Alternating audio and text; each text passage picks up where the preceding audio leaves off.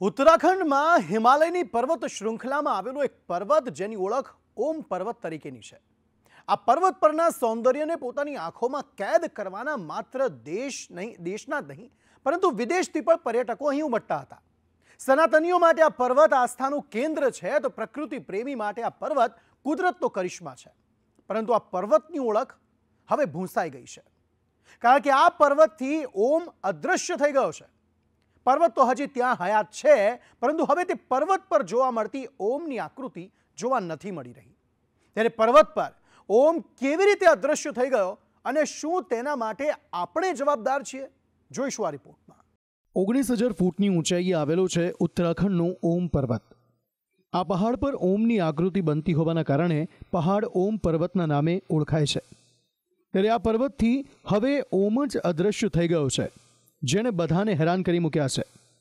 ઓમ પર્વતના જે નવા દ્રશ્યો અને નવી તસવીરો સામે આવી રહી છે, તે કોઈપણ સનાતની અને પ્રકૃતિ પ્રેમીને આંચકો આપનારી છે.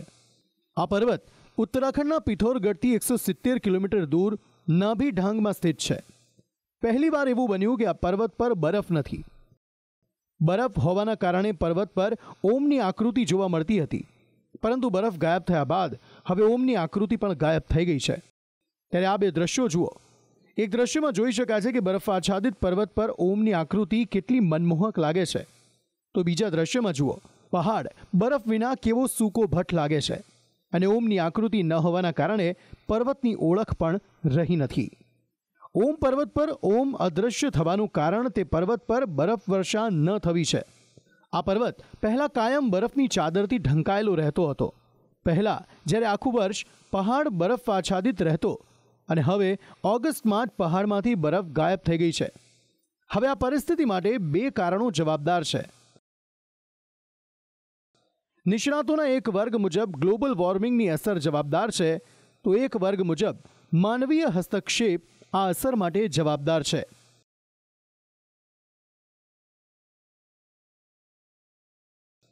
ગ્લોબલ વોર્મિંગની અસરથી વૈશ્વિક તાપમાનમાં વધારો થયો છે.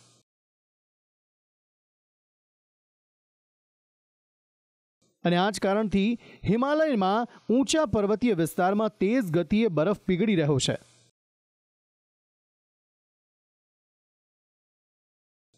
જળવાયુ પરિવર્તનની અસર કહો કે શિયાળાની સિઝનમાં બરફ વર્ષામાં મોટા પ્રમાણમાં ઘટાડો થવો.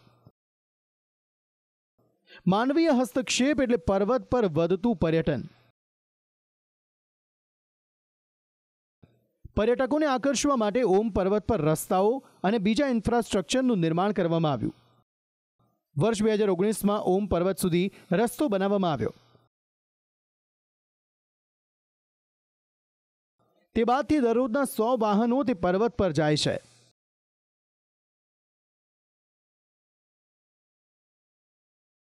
વાહનોની અવરજવરના કારણે પર્વત પર કાર્બન ડાયોક્સાઇડનું પ્રમાણ વધ્યું. જેના કારણે પણ તેની અસર પર્વતીય પ્રદેશોના વાતાવરણમાં થઈ છે. ઓમ પર્વત પર હેલિકોપ્ટર દર્શનની સુવિધા પણ છે. જેના કારણે હિમાલય ક્ષેત્ર પર પ્રદૂષણ વધ્યું છે. પર્વતીય વિસ્તારોમાં સુવિધાઓ ઊભી કરવા માટે પર્વતો તોડવા પડે છે.